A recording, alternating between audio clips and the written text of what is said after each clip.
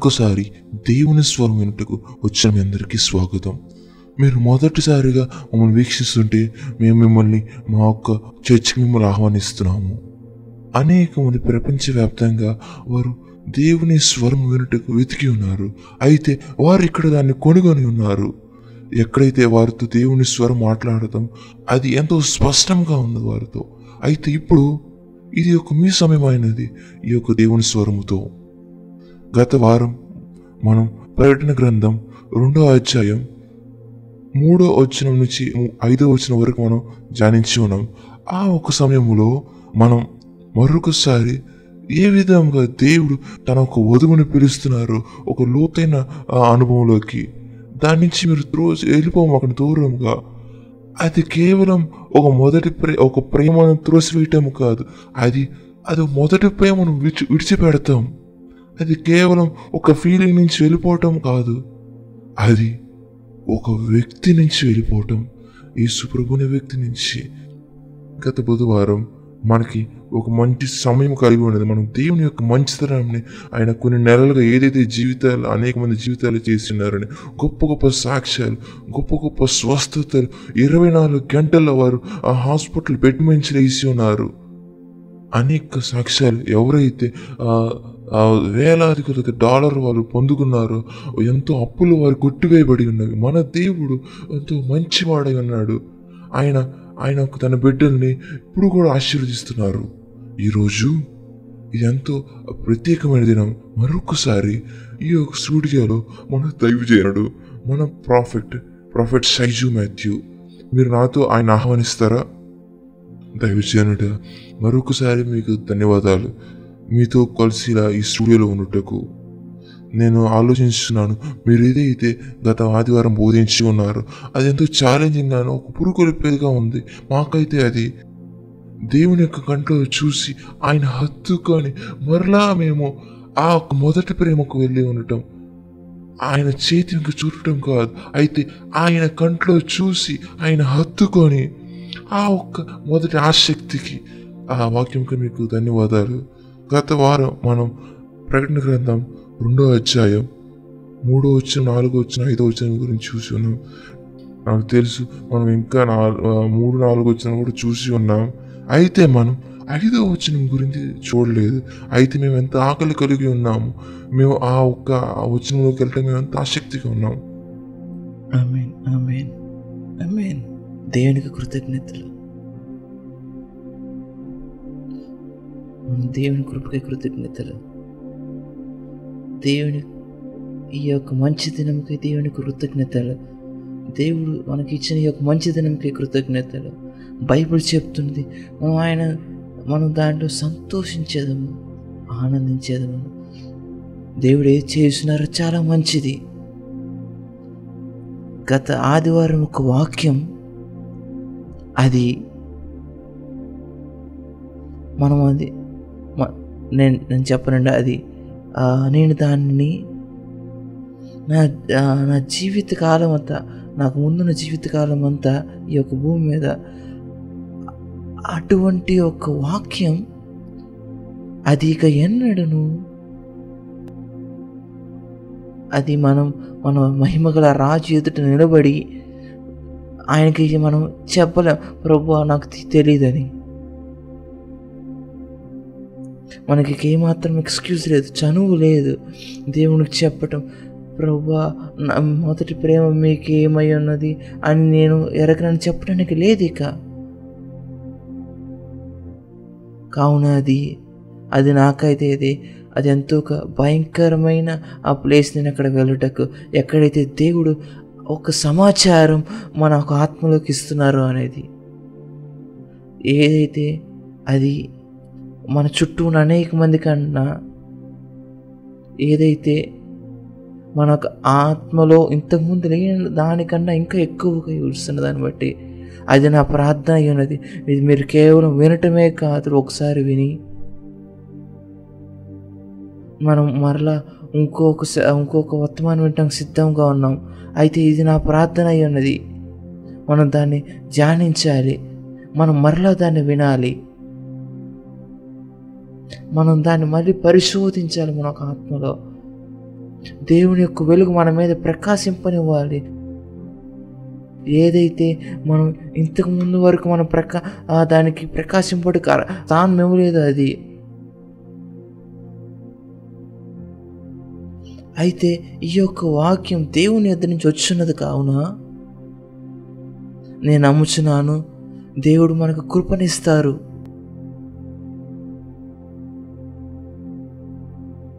దాన్ని వదిలివేయండి. అబ్రహాం గురించి ఒక గొప్ప స్టోరీ చెప్పబడింది. ఆయన గురించి ఒక చెప్పబడినది. ఒకసారి అభిమలేకు అతని యొక్క భార్యను దొంగలిస్తాడు. అది అతనికి తెలియదు అది ఆమె అబ్రహాం యొక్క భార్య అయి ఉన్నదని. అబ్రహాం అతనికి అబద్ధం చెప్పి ఉన్నాడు. అది ఆమె తన ఒక సహోదరి అని. అయితే అభిమలేకు ఆ ఒక్క వివాహాన్ని అతను పాడు చేయలేకపోయాడు. ఎందుకంటే దేవుడు అతనికి ప్రత్యక్షమయ్యారు. అతనికి హెచ్చరికించినారు నీకేమవు అతనికి ఏమవుద్దని ఎందుకనగా అంతకుముందు అలాగే ఒకతను చేసి ఉన్నాడు. అతను ఐగుప్తు రాజు అయి ఉన్నాడు. అయితే అతనికి అది ఏమాత్రం మంచిగా జరగలేదు. అయితే దేవుడు అతనికి హెచ్చరిక ఇచ్చి ఉన్నారు.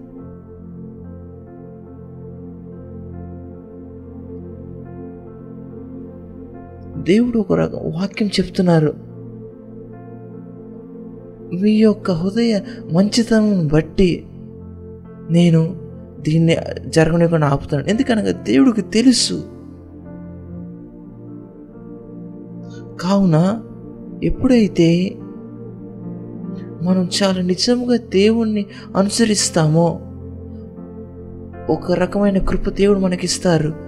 అది మన ఆయన యొక్క హృదయం నెరట ఆయన యొక్క హృదయాన్ని గెలవటానికి ఆయన కృపనిస్తారు. ఆయన యొక్క ఉద్దేశాన్ని నెరవేర్చుటకు మనం పరిపూర్ణంగా ఉండటానికి చాలా దూరంలో ఉన్నాము. అయితే మనం ఆయన్ని అనుసరించటలో మనం నమ్మకంగా ఉన్నాము కాబట్టి దేవుడు ఆయన ఎంతో చాలా ధారాళముగా ఉన్నారు ఆ ఒక కృపని ఇవ్వటానికి మనకు కావలసిన కృపని ఇవ్వటానికి ఓ ఆయన యొక్క ఉద్దేశాన్ని ఆయన యొక్క పూర్తి ఉద్దేశాన్ని జీవించడానికి దేవుడు కృపనిచ్చున్నారు ఆ ఒక కృప ఈ యొక్క వీడియో అంతటి మీద ఉన్నది. నేను మన యొక్క ఆన్లైన్ చర్చను అందరిని ఆహ్వానించాలనుకుంటున్నాను. ప్రపంచవ్యాప్తంగా వీక్షించిన వారందరికీ దేవుని యొక్క కృప మిమ్మల్ని వెతుక్కొని ఈ యొక్క స్వరము ద్వారా వచ్చునుగాక దేవుని యొక్క కృప మీ యొక్క ఇంటిని నింపునుగాక ఈ ప్రస్తుత ఇప్పటి నుంచి. దేవుని యొక్క కృప మిమ్మల్ని బలపరచునుగాక మీ యొక్క వణుకుతున్న చేతిని బలపరచునుగాక దేవుని యొక్క కృప మీ యొక్క వణుకుచున్న కాళ్ళని బలపరచునుగాక మిమ్మల్ని పిలిచినవాడు నమ్మదగినవాడు. దేవుడు చెప్తున్నారు మిమ్మల్ని బట్టి ఆయన తృప్తి చెంది ఉన్నారు. అయితే మనం మరొకసారి ఈ బాటలో మనం వెలిచి ఉండగా ఆయన యొక్క వాక్యములో ఆయన యొక్క ఆత్మ మనం నడిపించునుగాక మనం ఎన్నడూ ఎల్లని ఎరగని ఒక స్థలంలోకి ఆయన ఆత్మ మనం నడిపించునుగాక మనకి ఇంతకుముందు లేని ఒక అవగాహన దేవుడు మనల్ని నడిపించున్నారు ఆయన ఒక సమీపత్వం మనకెంతో గొప్పతనమై ఉన్నది. అవును. అవును. నాకు తెలుసు ఐదో వచనం. అది మనం పిలుచుచున్నది అయితే పరిశుద్ధ లేఖనాల విషయం ఏమైందనగా మనం కేవలం ఒక వచనముతో ఒక నెలలు లేదనగా సంవత్సరాలు మనం ధ్యానించవచ్చు. అయితే గత ఆదివారం తర్వాత నేను నేను ఒక బోధకుడుగా నేను కూడా దే- దేవుడు ఏం మాట్లాడిస్తున్నారో దాని గురించి ధ్యానించవలసిన ఉన్నది. ఎందుకనగా నేను గ్రహించి ఉన్నాను దీంట్లో ఎంతో లోతయ్య ఉన్నదని. ఎంతో లోతయ్య ఉన్నది ఆ ఒక్క స్వరములో ఆ ఒక్క వచనములో. కావున మనం దాన్ని పూర్తిగా తీసుకోలేకపోవచ్చు. అయినప్పటికీ ఇంకా అందులో కొంచెం ఉన్నది. అయితే మిమ్మల్ని అది బోరు కొట్టించలేకపోతే లేదు లేదు లేదు లేదు. అవును. అయితే మనం దేవుని కృప ద్వారా నేను మరొకసారి ఆ వచనం చదవండి. చూ చూడండి. దేవుడు మన ఈరోజు ఎక్కడ నడిపించబోతున్నారు? ఒక నిలువైన కోణం ఒకటి ఉన్నది. మరియు ఒక అట్టకోణం ఉన్నది. మనం దాన్ని ఈరోజు పరిశుద్ధం. అయితే మీరు మీరేమనుకున్నట్లయితే మరొకసారి అదే వచ్చినానికి వెళ్ళండి. ప్రకటన గ్రంథం రెండవ వచ్చినం నాలుగో వచ్చినం ప్రకటన గ్రంథం రెండో అధ్యాయం నాలుగో వచ్చినం ఆయనను మొదట నీకుండిన ప్రేమను నువ్వు వదిలేతువని నేను నీ మీద తప్పు ఒకటి మొప్పవలసి ఉన్నది కింగ్ జేమ్స్ వర్షన్ చెప్తుంది ఏదేమైనా నేను నీ మీద ఒకటి మోపవలసిన ఉన్నది నేను అది ఎంతో ఆనందించినాను ఒక మాటను ఎందుకనగా నీ యొక్క మొదటి ప్రేమను విడిచిపెట్టితివి.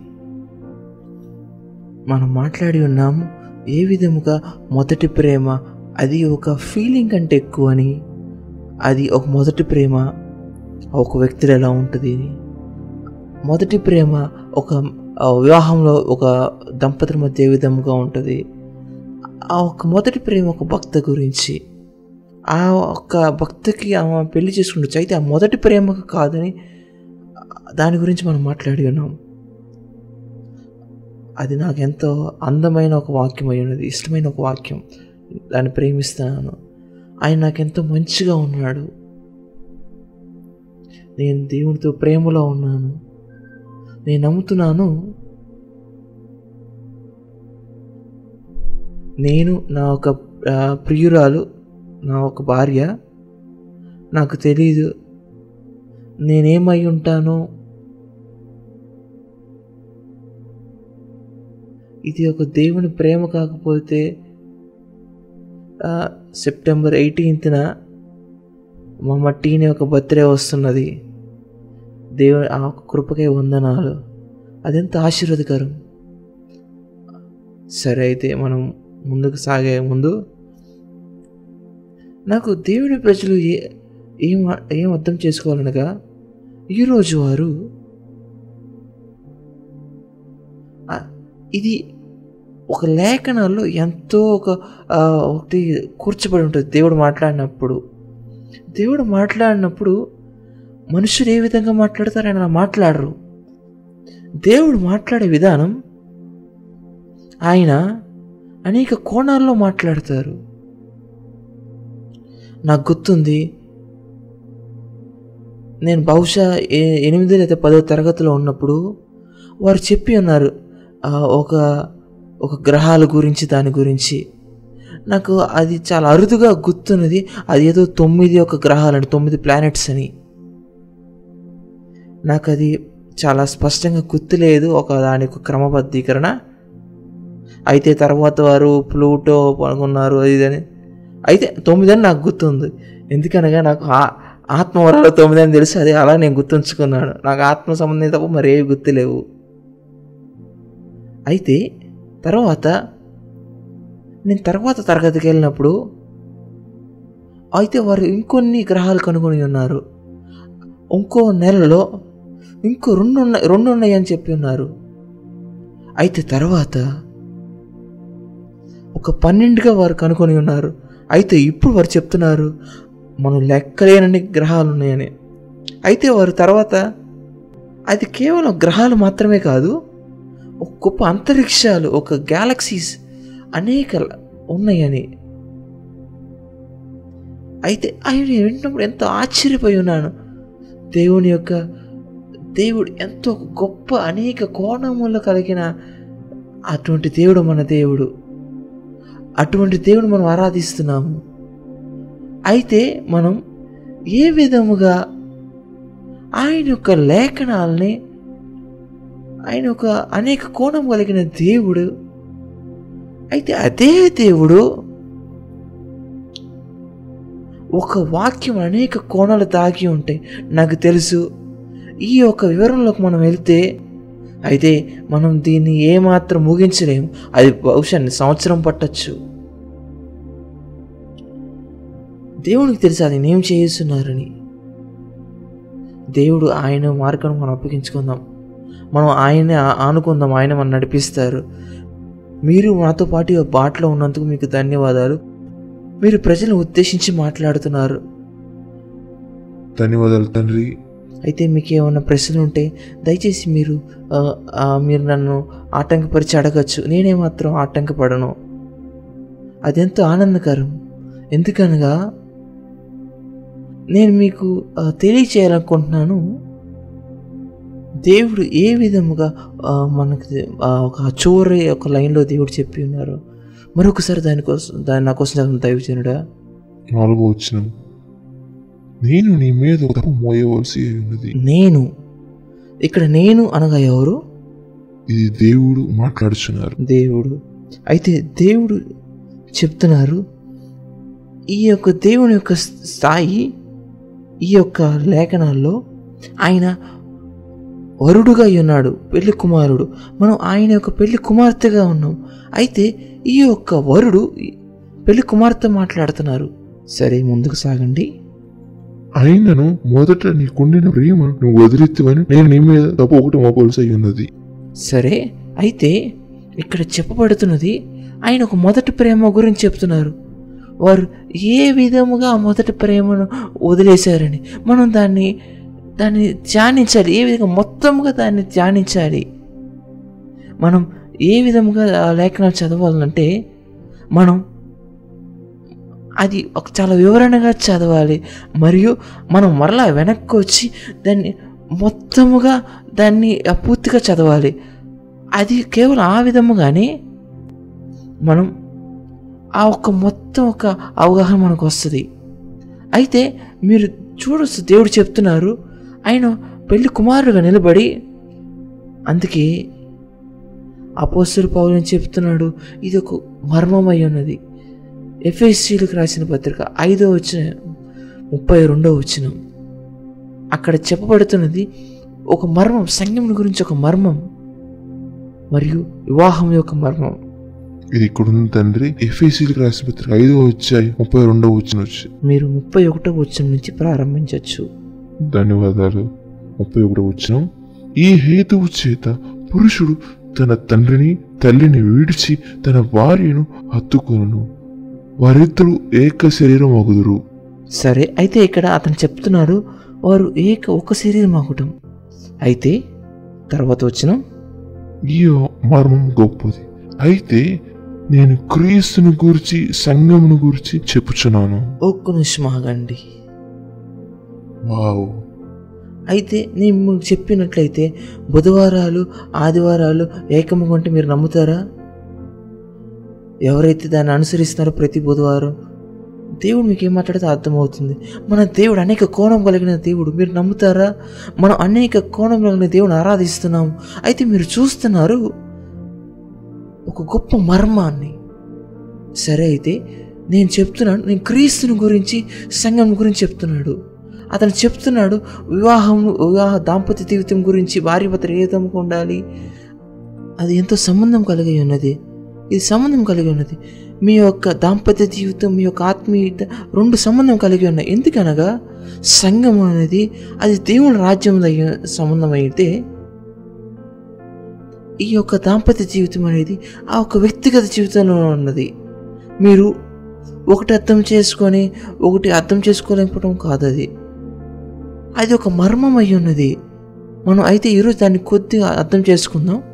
మేము దాన్ని వినటానికి ఎంత ఆసక్తిగా ఉన్నాం. అయితే మనం దీన్ని అర్థం చేసుకోవాలంటే ఈ యొక్క మర్మాన్ని మనం దేవుడు ఏ విధముగా ఒక వివాహ జీవితం ఒక దాంపత్య జీవితాన్ని చూస్తారని మీరు పెళ్ళి కాని వారు అయితే మీరు బోరు బోరు పడమాకండి. మనం మనం మలాఖీ గ్రంథంలోకి వెళ్దాం. మలాఖీ గ్రంథం రెండో అధ్యాయం పదిహేను వచ్చిన దయచేసి చూడండి. రెండు పదిహేను. ఇది దేవుడు ఇప్పుడు మాట్లాడుతున్నారు వివాహం గురించి. అయితే ఆయన చెప్తున్నారు ఏ విధముగా వివాహ దాంపత్య జీవితం ఉండాలని ఆ ఒక్క సంబంధం ఎలాగ ఉండాలని? మలాకి రెండో అధ్యాయం పదిహేను వచ్చిన. కొంచెముగా సరే ఆయన అక్కడ చెప్తున్నారు వివాహం అనేది దేవుడు ఇద్దరిని తీసుకొని మనం ఇంకా స్పష్టంగా చెప్తాం. ఆయన ఒక పురుషుణ్ణి స్త్రీని తీసుకొని వారిని ఒకటిగా చేస్తున్నారు. అయితే తర్వాత చెప్తున్నారు ఆయన ఏ విధంగా చేసి ఉన్నారు? దేవుని చేత సంతతి నందువలని యత్నం చేసి సరే అయితే ఆయన తీసుకొని ఆయన ఒక ఆత్మలో ఒక భాగమును తీసుకొని వారిద్దరి మధ్య ఆయన పెడుతున్నారు. ఆ ఒక్క ఆత్మ దేవుని యొక్క ఆత్మ అది ఆ ఒక్క దేవుని యొక్క ఆత్మ ఆ ఒక్క పదార్థం అది వారిని ఇద్దరిని ఏకపరిచిద్ది ఏకముగా చేసిద్ది. మనం మనం దీన్ని ఎక్కడ చూడగలము? మనం దాన్ని ఏదైనా తోటలో చూడగలం? దేవుడు గొప్ప సృష్టికర్త ఆయన వచ్చి ఆదామును తీసుకొని తర్వాత ఆవను తీ ఆవను తీసుకొని వారిని ఆ ఏదైనా తోటలో ఉంచి ఉన్నారు. ఆయన ఒక ఆత్మ. వారిద్దరిని ఏకమైన శరీరముగా మార్చి ఉన్నారు. ఇద్దరు వ్యక్తులు. ఆయన వారిని తీసుకొని ఒకరిని ఒకరిలో నుంచి మరి వారిద్దరి తర్వాత ఒకరిగా చేసి ఉన్నారు. వారిద్దరిని ఒక దగ్గర తీసుకొచ్చి ఉన్నారు. ఓ అది అనేక కోణములు కలిగి ఉన్నది. మీరు దాన్ని తలంచగలరా? ఆయన ఒకరిలోంచి ఒకరిని తీసి ఇద్దరుగా చేసి మరియు వాళ్ళు ఏకముగా చేసి ఉన్నారు. నేను దాన్ని ఈరోజు తాకాలనుకోవట్లేదు.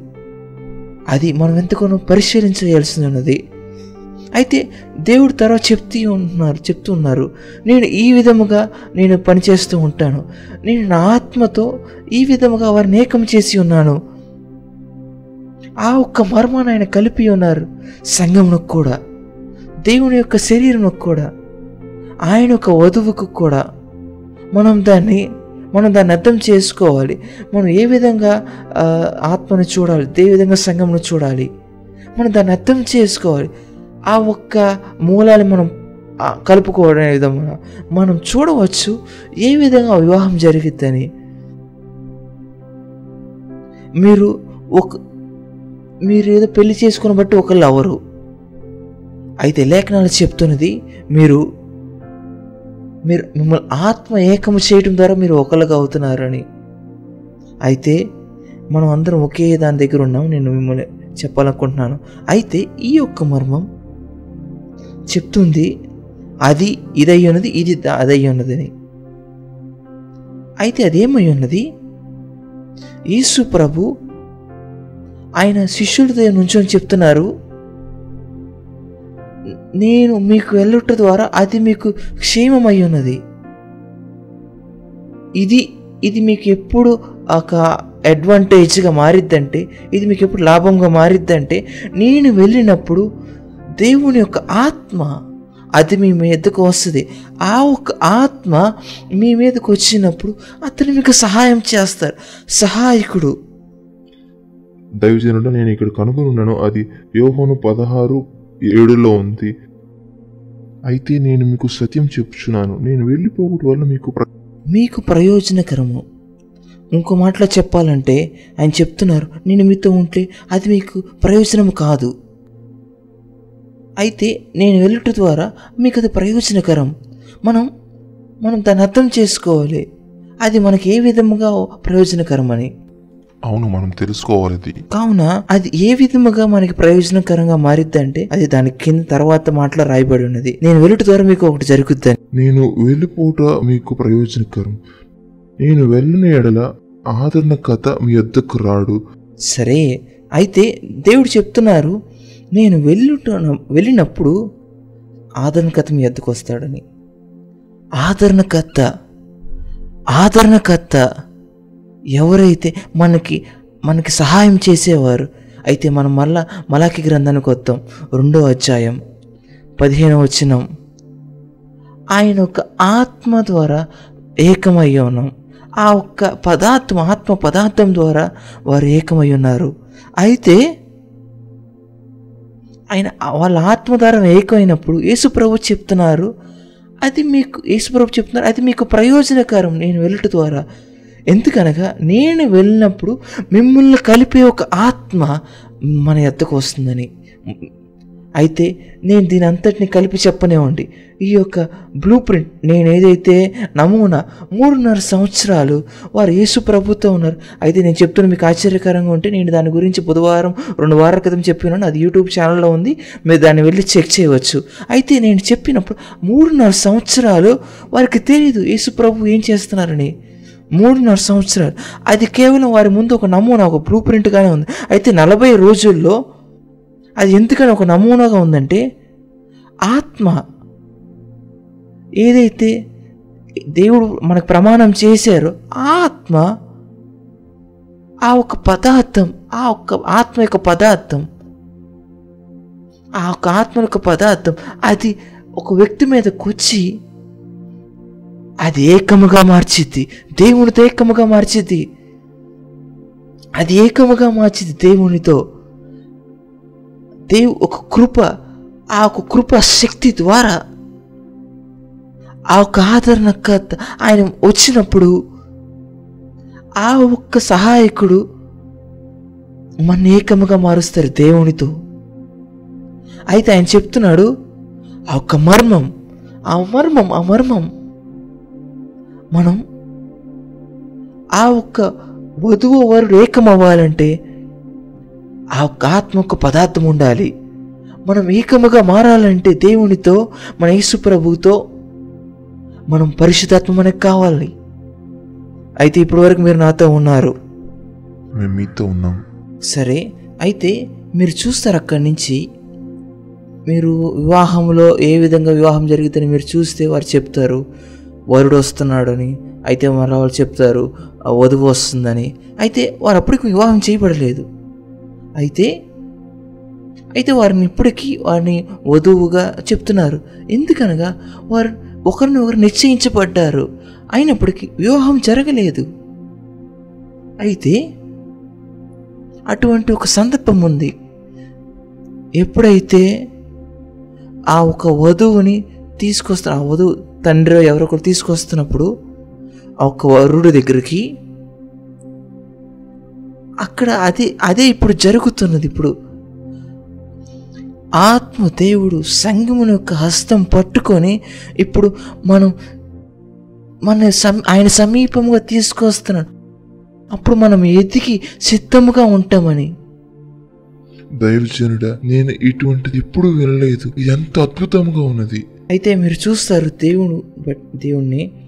అయితే ఇప్పుడు ఈ వాక్యం మీ దగ్గరికి వస్తుండగా మీ యొక్క ఆత్మలో ఆయన మనల్ని ఆయనకి సమీపంగా చేస్తున్నారు.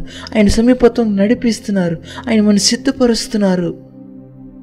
మన యొక్క ఒక వరుణ్ణి చూడటానికి మన సిద్ధపరుస్తున్నారు. అయితే ఆ ఒక్క వరుణ్ణి మీరు ఆ పరిశీలించినప్పుడు మనం దాన్ని అర్థం చేసుకోవాలి. మనకెంత ప్రాముఖ్యమైనది.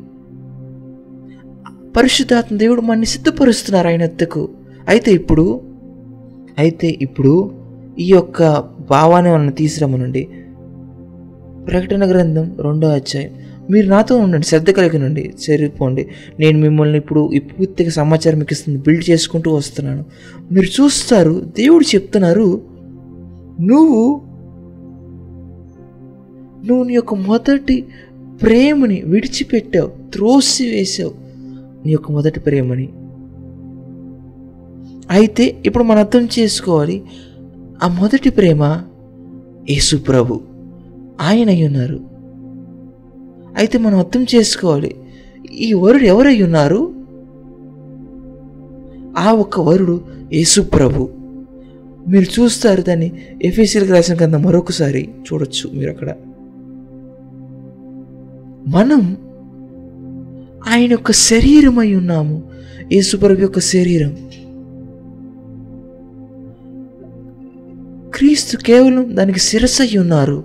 మనం దానికి శరీరం అయి ఉన్నాము అయితే ఇదంతటిని అది అది మనకు పూర్తిగా అర్థం చేసుకోవడానికి ఆయన యేసుప్రభును అర్థం చేసుకున్నప్పుడు ఆ వరుణ్ణి అర్థం చేసుకున్నప్పుడు మనం అర్థమవుతుంది యేసు ప్రభు ఆయన ఆయన ఏ విధంగా చూస్తున్నారు? దైవజనుడా మీరు నాతో ఎఫేషియల్కి రాసిన గ్రంథం నాలుగో అధ్యాయం మీరు పదకొండవ వచ్చిన నుంచి చదవచ్చు. పదమూడవ వరకు. ఎఫీసీలకు రాసిన పత్రిక నాలుగో అధ్యాయం పదకొండవ వచ్చిన నుంచి మనమందరం విశ్వాస విషయంలోను దేవుని కృపను గురించిన జ్ఞాన విషయంలోను ఏకత్వం పొంది సంపూర్ణ పురుషులకు వరకు అనగా క్రీస్తు కలిగిన సంపూర్ణతకు సమానమైన సంపూర్ణత కల వరకు ఆయన ఈలాగు నియమించింది పరిశుద్ధులు సంపూర్ణమగునట్లు క్రీస్తు శరీరం క్షేమాభివృద్ధి కలుగునట్లు పరిచర్య ధర్మం చేయుటకు ఆయన కొందరిని అపోస్తుకులుగాను కొందరిని ప్రవక్తలుగాను కొందరిని సువార్థికులుగాను కొందరిని కాపురులుగాను ఉపదేశకులుగాను నియమించను. ఓ ఇది ఎంత అద్భుతమైన వచనం. ఎంతో శక్తివంతమైనది ఇది ఇది లేఖ మనకు తెలియచేస్తున్నది దేవుడు ఏ విధముగా వర్క్ చేస్తారని. అయితే ఆయన పునరుద్ధానమైనప్పుడు అది పన్నెండవ వచనం. మనం దాన్ని కొన్ని వారాల క్రితం దాన్ని ధ్యానించాం.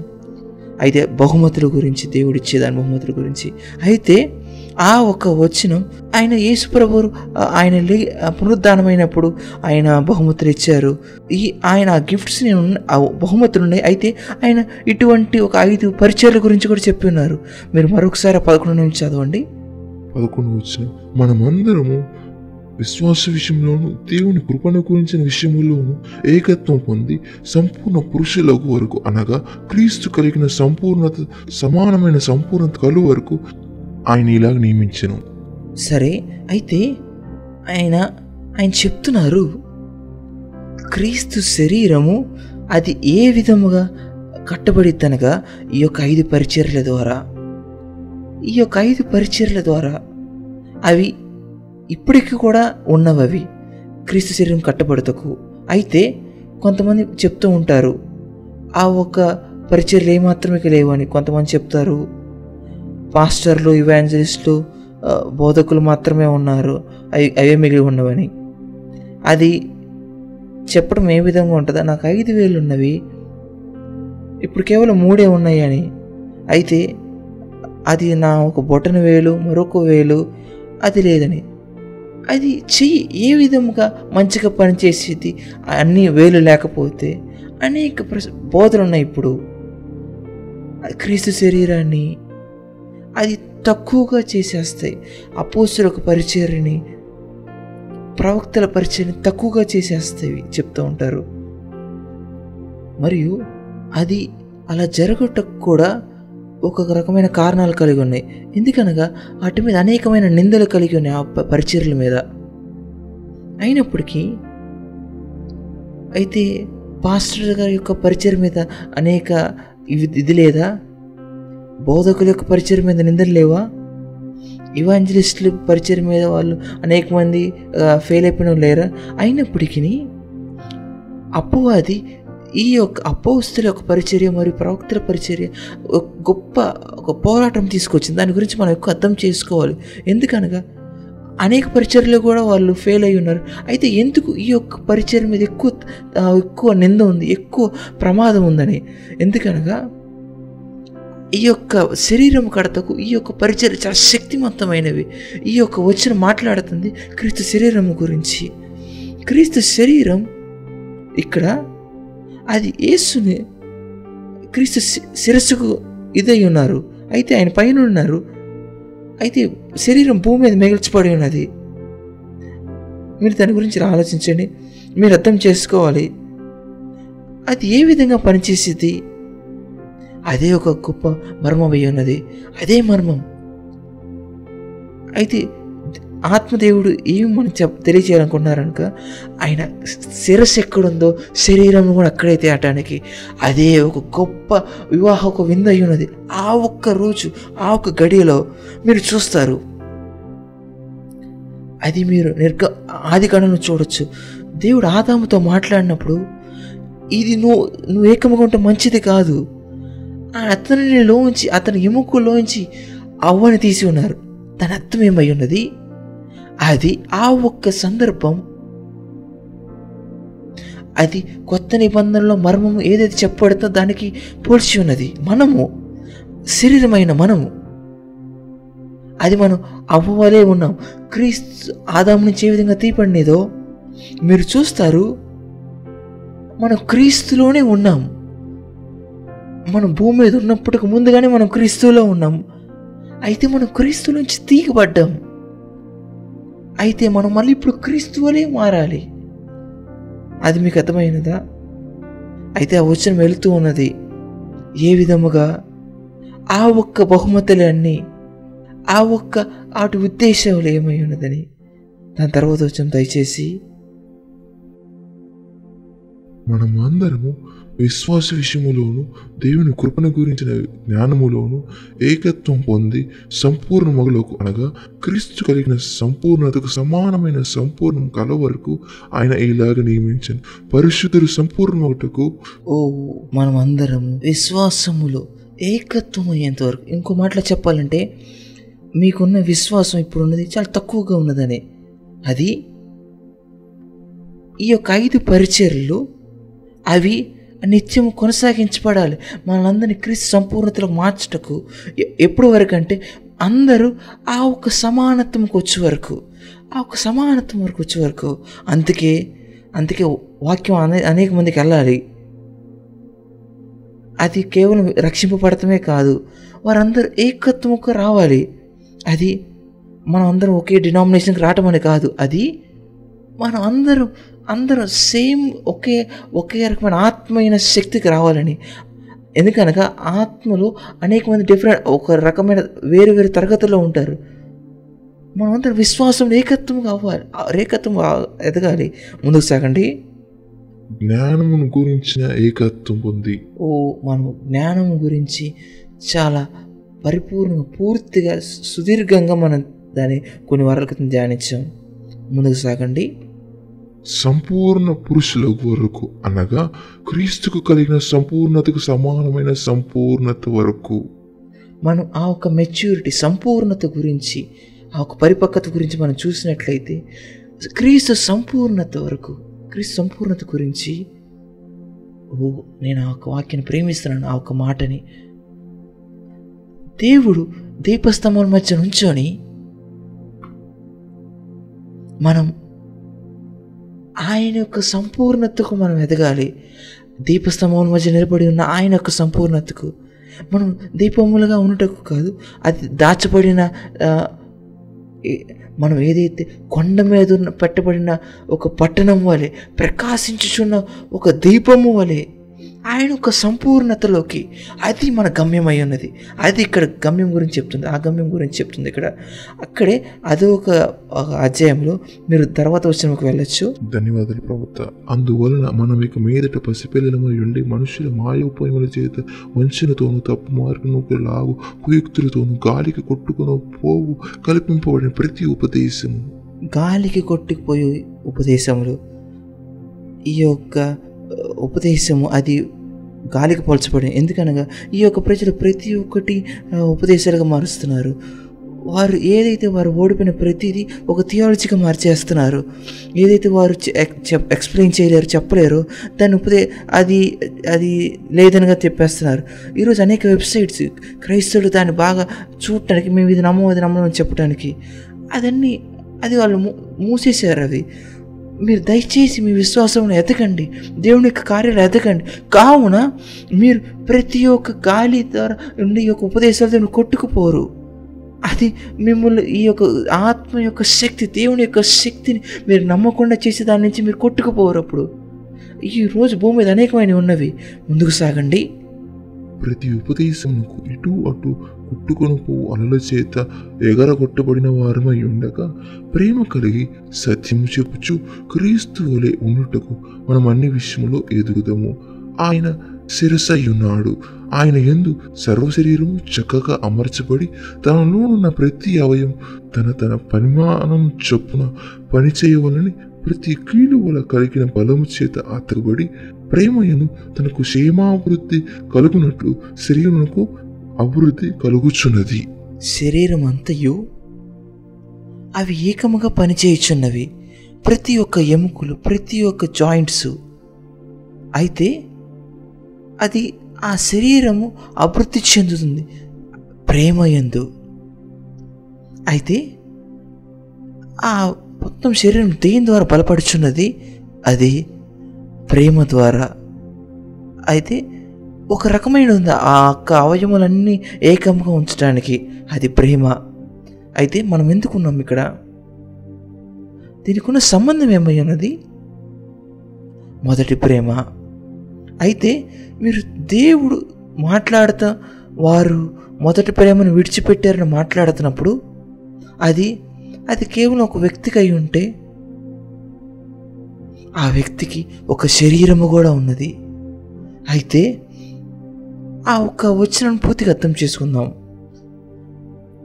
మనం గత వారం బాగా దాన్ని లోతుగా వెళ్ళి ఉన్నాం. అయితే మనం దాన్ని వెనక్కి వచ్చి తేరి చూద్దాం. ఆ ఒక మొదటి ప్రేమ అది కేవలం క్రీస్తుని గురించి కాదు. ఆ ఒక్క మొదటి ప్రేమ అది. ఆయన శరీరం గురించి కూడా ఉన్నది. క్రీస్తు ఒక శరీరం బాడీ ఆఫ్ క్రైస్ట్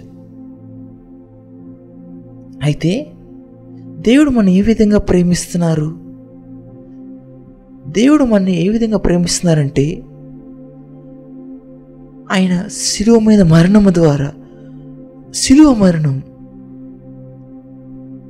ఈ యొక్క సృష్టికర్త ఈ యొక్క సృష్టి నిర్మాణకుడు అది క్రీస్తు మీద చనిపోవడానికి సిద్ధపడి ఉన్నారు. అయితే మీరు రోమియోలు ఇలా చేశారు అతనికి ఎక్కువ మహిమ ఏమకండి అయితే కొత్త నిబంధన చెప్పట్లేదు సిలువ అనేది. మీరు దాని గురించి ఛాయ పాత నిబంధన చూడొచ్చు. ఎక్కడైతే మోసే ఆ ఒక ఇత్తడి సర్పాన్ని దాని మీద ఒక స్తంభం మీద పెట్టి ఉన్నారో మీరు చూస్తారు ఆ ఒక్క సిలువ దైవికముగానే కొత్త నిబంధనకు ముందుగానే రోమిలకు లేకముందే అది దేవుడు నిర్ణయించారు దాన్ని. ఆ ఒక్క ఆ ఒక్క ఒక సిలువ ఆయన ప్రేమకు సాదృశ్యంగా ఉన్నది. అయితే మీరు ఆ సిలువ చూసినప్పుడు ఆయన ప్రేమ అక్కడ వేలాడుచున్నది. అయితే మీరు దాన్ని అక్కడ దాన్ని మనం లోతుగా తీరి చూడాలి ఏ విధంగా ఆ సిలువ అనేది పనిచేయుచున్నది? మీరు రెండు కోణములు అక్కడ చూస్తారు ఆ ఒక్క ప్రేమకి. మొదటిగా మీరు యేసు ప్రభు వారు తండ్రికి ఎంతో విధేయులుగా ఉన్నారు. మరణము వరకు విధేయత. ఆయన యొక్క విధేయత మరణం వరకు ఉన్నది. ఆయన చెప్పినారు నేను ఏదైతే నేను ఏమైనా చేస్తాను నా తండ్రిని మెచ్చ తండ్రి దగ్గర మెచ్చ పొందటానికి అది అది నిలువుగా ఉన్న ఆ చెక్క ఉన్నది. అది మీరు సిలువను చూసినప్పుడు అది కేవలం ఒక నిలువుగా ఉన్న చెక్క ముక్క కాదు. అయితే మీరు జాగ్రత్తగా వినండి. రెండవ కోణం సిలువు కోణం రెండవ కోణం ఏమనగా ఆయన ఆయన ప్రజలకు పట్ల ఉన్న ప్రేమ. యేసు ప్రభు వారు ఆయన ప్రజ మానవాన్ని ఎంతో ప్రేమించి ఉన్నారు. వారి యొక్క పాపము నిమిత్తం ఆ ఒక పాపలు మోసుకెళ్ళటం కొరకు ఆయన శిలువుల మరణం పొంది ఉన్నారు. అయితే మీరు రెండు కోణములు ఇక్కడ చూడవచ్చు. మీరు సిలువను ధ్యానించినప్పుడు అయితే రెండు ఒక్క బీమ్స్. మొదటిది అది నిలువుగా ఉన్నది. అది భూమిలో అది ఒక వర్టికల్ ఒక అడ్- నిలువుగా ఉన్న ఒక ప్రేమను చూపిస్తున్నది. అయితే దాని మీద ఒక అడ్డముగా ఉన్న ఒక భీమ్ ఉన్నది. అది దాని చుట్టూ ఉన్న వారితో ఒక సహవాసముగా ఉన్నది. ఆ రెండు కలిపి అది ప్రేమకు ఒక ఛాయగా మారి ఉన్నది. ప్రేమకు ఒక సింబల్గా ఏ విధముగా ఒక అడ్డకోణం పనిచేసేదనగా అది మనం ప్రజల్ని ప్రేమించటం మనం ఏదో ఆ ఒక్క ఒక అడ్డుకోణం గాల్లో నిలబడినట్టు ఉండదు అది అలా పని చేయదు అది ఏ విధముగా ఒక అడ్డుకోణం నిలబడిద్దనగా అది ఒక నిలువు కోణం నిలువుగా ఉన్న భీముకి అతుక్కొని ఉంటే తప్ప అయితే మొదటిగా మనం అర్థం చేసుకోవాల్సింది ఏమిటగా? అది మొదటిగా అడ్డుకోణము కాదు. మొదటిగా నిలువు కోణం అయి ఉండాలి. దైవజనుడు ఇది ఎంతో అద్భుతం ఇది ఎంతో అద్భుతం.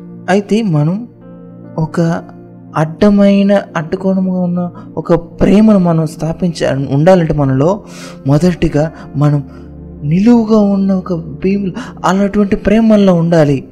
అయితే ఆ ఒక్క నిలువు గల భీము నిలబడాలంటే అది ఎంతో లోతుగా నాటబడి ఉండాలి. అది భూమిలో వెయ్యాలి. ఏది అది సరిగ్గా ఒక నాటకపోతే ఏదైతే మనం అడ్డం ఆ భీము ఉందో అది వర్టికల్గా ఉన్న అది నిలువుగా ఉన్న దాన్ని వాలిపోయేలాగా చేస్తుంది.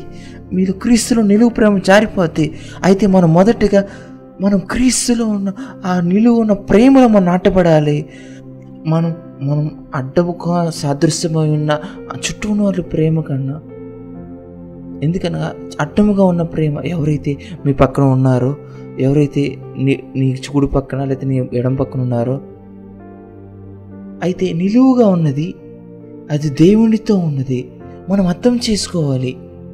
మనం దాన్ని అర్థం చేసుకోవాలంటే దేవుణ్ణి మనం దానికి సంబంధించిన మనకు మనం అర్థం చేసుకోవడం కూడా కావాలి. అందుకే ఆ విధముగానే మనం నాటపడం ఆ విధం దాన్ని బట్టి దేవుడు దాన్ని బట్టి దేవుడు ఈరోజు నన్ను నడిపిస్తున్నారు. చాలా వివరణగా దేవుడు దీన్ని బట్టి మాట్లాడుతున్నారు. కొత్త రెండు వారాలుగా. గత వారం అది అనేక మందికి ఎంతో గొప్పగా ఉంది. అనేక మంది దాని గురించి సాక్షి ఇస్తున్నారు అది ఎంతో ప్రాముఖ్యమైన దైవజనుడ. మనం కేవలం నేను కేవలం దేవుని మీద ఆసక్తి ఉంటాను అని చెప్పడం కాదు. దేవుడే తను ఒక ఆసక్తి కలిగి ఉన్నారు. నువ్వు నిన్ను నువ్వు తెలుసుకోవాలని ఒక ఆసక్తి కలిగి ఉన్నారు.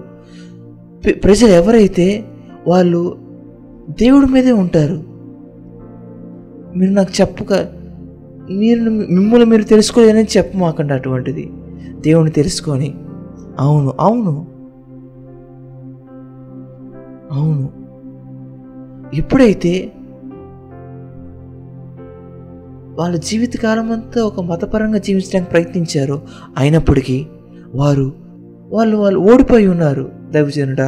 వాళ్ళు ఓడిపోవడమే కాదు. వారు ఒక జీవిత భాగస్వామితో ఓడిపోయి ఉన్నారు. వాళ్ళు ఎప్పుడు ఒక పోరాటం పడుతుంటారు. వాళ్ళ యొక్క జీవిత భాగస్వామిని అర్థం చేసుకోవడానికి. ఎందుకనగా వాళ్ళు వారు అర్థం చేసుకోలేకపోయారు ముందు. అనేక సార్లు ఒక వివాహాన్ని ఒక వివాహ దంపతుల్ని మనం హెల్ప్ చేయలేం ఎందుకనగా ముందు వాళ్ళ యొక్క జీవిత భాగస్వామిలోనే తప్పుందని అనుకుంటూ ఉంటారు. అయితే ఎప్పుడైతే మనం సమాధానం ఉన్నావో మనం అనేక మందికి సమాధానం తీసుకెళ్తాం. అయితే నువ్వు వేరే వాళ్ళ మీద తప్పు మోపడానికి ఎక్కువగా చూపిస్తున్నావు. అయితే నీలో ఉన్న సమాధానం కోల్పోయే ఉన్న సంగతి మనం చూసుకోము. మనం మనం అర్థం చేసుకోవడం మనం ప్రయత్నించాం. అయితే అది బుధవారం సంబంధించి మనం బుధవారం దాని గురించి జానిద్దాం అయితే నన్ను ఇక్కడ దాంతో వదిలేనివ్వండి. మనం మరలా ఈ యొక్క అడ్డకోణం గురించి మళ్ళీ మనం జానిద్దాం అడ్డకోణం. మనం అర్థం చేసుకోవాలి దీన్ని. మనం దీనిలో లోతుగా వెళ్ళాలి. దేవుడు చెప్తున్నారు నువ్వు ఒక మొదటి ప్రేమను విడిచిపెట్టావు. అయితే గత వారం అనేక మంది అది ఎంతో వారికి భారముగా ఉన్నది. ఆ ఒక్క లేఖనాలు అది వారు ఎంతో నమ్మకముగా అవును దేవుడా ఏదైతే నాలో ఉన్నదో నేను ఏ విధంగా ప్రేమించలేదు ముందు ప్రేమించిన విధముగా నేను దాన్ని బట్టి పశ్చాత్తాపం చెందుతున్నాను. నువ్వు ఇంకో ఒక చిక్కులో పడవచ్చు. నువ్వు ఎక్కువగా దేవుడి మీద ఉండి.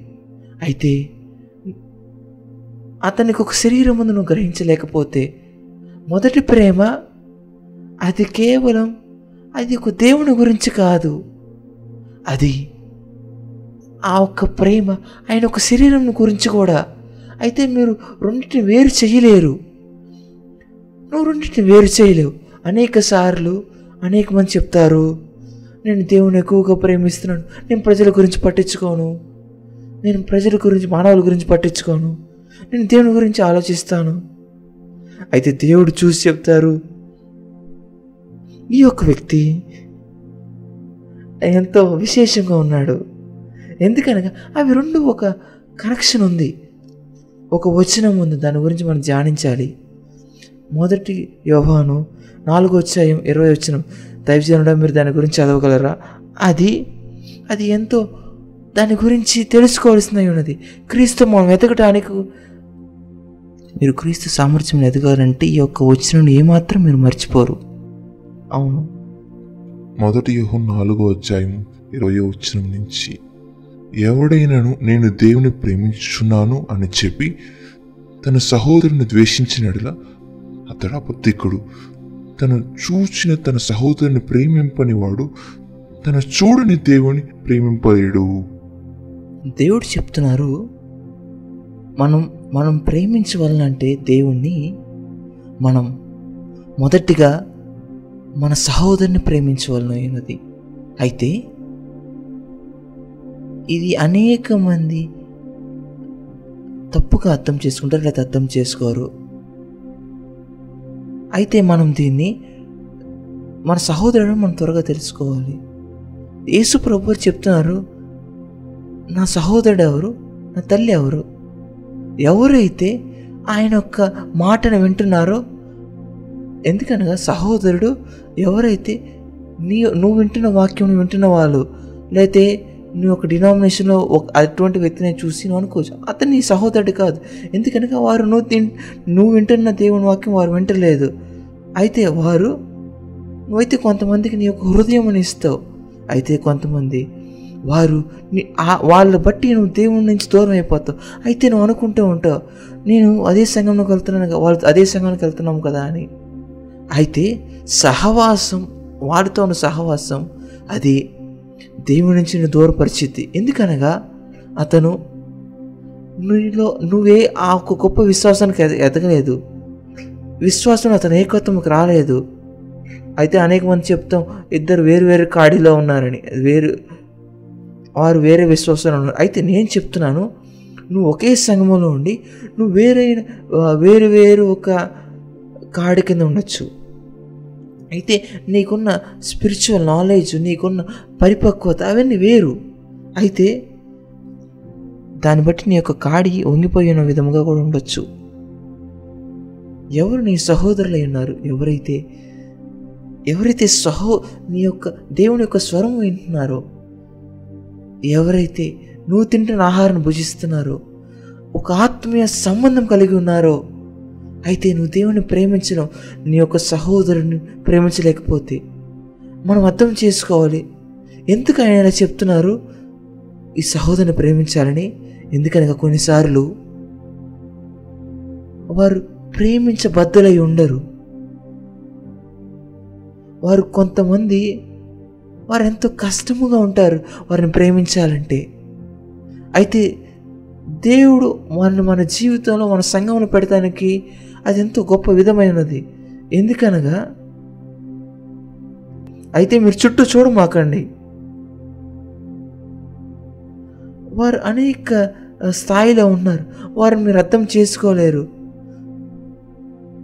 వారు రావటం బట్టి వారు వారు మీ యొక్క విశ్వాసాన్ని పరీక్షించే విధంగా ఉంటారు. అయితే దేవుడు చెప్తున్నారు నువ్వు నాకు చెప్పలేవు. నువ్వు నన్ను ప్రేమిస్తున్నావు. నీ అయితే నువ్వు సమయం తీసుకొని నీ యొక్క సహోదరుని ప్రేమించలేకపోతే అయితే అది మనని అపోస్తుల కార్యం రెండవ అధ్యాయం నలభో ఐదవ వచనం గురించి మనం తీసుకెళ్ళేది. అయితే మనం దాని గురించి ఇంతకుముందు ధ్యానించి ఉన్నాం. అది మేబీ ముందు వారం దాని అంతకు ముందు వారం. అయితే ఇప్పుడు దాని గురించి వెళ్ళం మనం. అయితే వారందరూ వారు ఒకరిని ఒకరు వాళ్ళకున్నది అంతా ఇచ్చేసి ఉన్నారు. వాళ్ళలో ఉన్న ఎవరు? వాళ్ళకు కొ- ఎవరికి ఒక వాంటింగ్ లేదు ఎవరికి ఒక ఆశ లేదు. అయితే అప్పుడు ఒక ప్రమాదం వచ్చి ఉన్నది. అయితే దాన్ని బట్టి ఎవరో ఒకళ్ళు అడ్వాంటేజ్ తీసుకోవాలనుకుంటారు. ప్రేమ అనే పేరుతో నేను విన్నాను ప్రజలు చెప్పి ఉంటాం. మీరు నన్ను ప్రేమించాలి నువ్వు నన్ను ప్రేమించాలి. నేను విన్నాను ప్రజలు చెప్పటం. మీరు క్రైస్తవుడివి. నువ్వు అది చేసి ఉండాలి. నేను విన్నాను ప్రజలు చెప్పటం. మీరు క్రైస్తవులై ఉన్నారు. మీరు దాన్ని చేయవలసి ఉన్నది. మనం మనం ఒక లైట్ హౌస్ని మనం క్లోజ్ చేసి ఉన్నాం.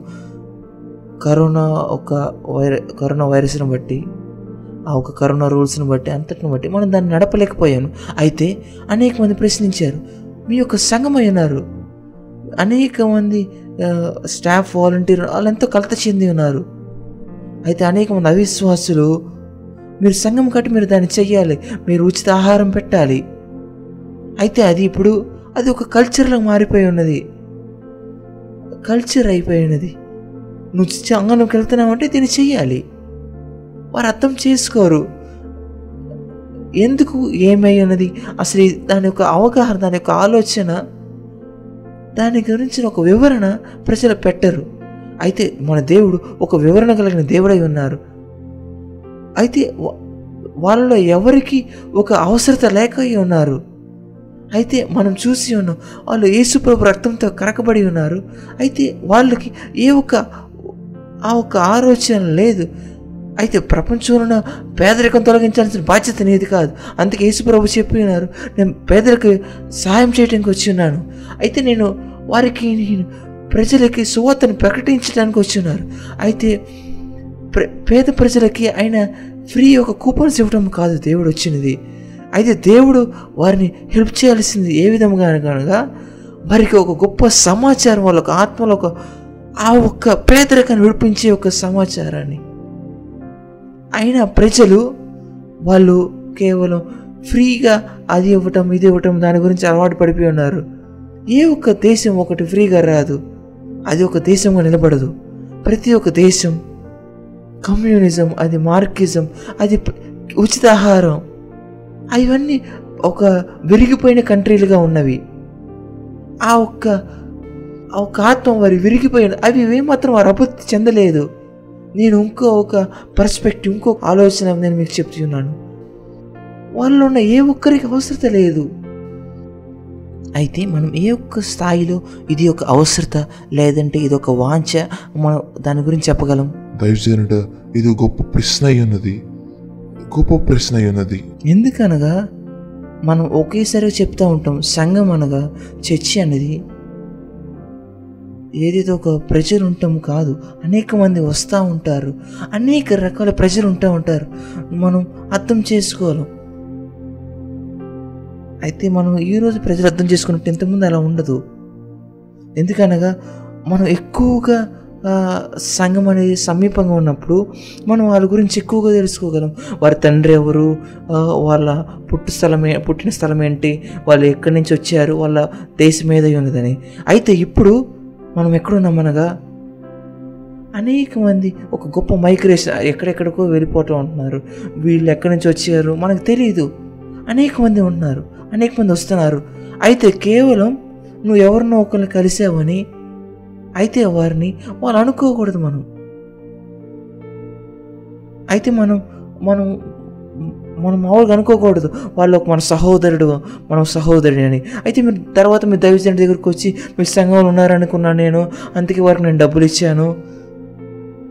అయితే మీ యొక్క మనీని మీరు లూజ్ చేసుకోవడానికి ఇష్టం లేదే మీరు అప్పు ఇవ్వమాకండి అది అది మనం ప్రజలతో మనం మనం మనం దాన్ని లావాదేవీలు చేస్తుంది. అయితే నేను నన్ను ఒక వ్యక్తి ప్రతి ఒక్క వ్యక్తి దగ్గరికి వచ్చి డబ్బులు అడగటం. అయితే చివరికి ఆ ఒక్క వ్యక్తి డబ్బులు ఏమాత్రం అందరికీ పే చేయలేకపోయాడని. అతను సం అతను కారు కొనుక్కోవాలని అయితే తను సంఘము ఒక మంచి స్థలము డబ్బు అక్కడి నుంచి రేస్ చేయొచ్చు అనుకున్నాడు. చూరిగా నాకు తెలియదు ప్రజలు అతనికి ఇచ్చి ఉన్నారని.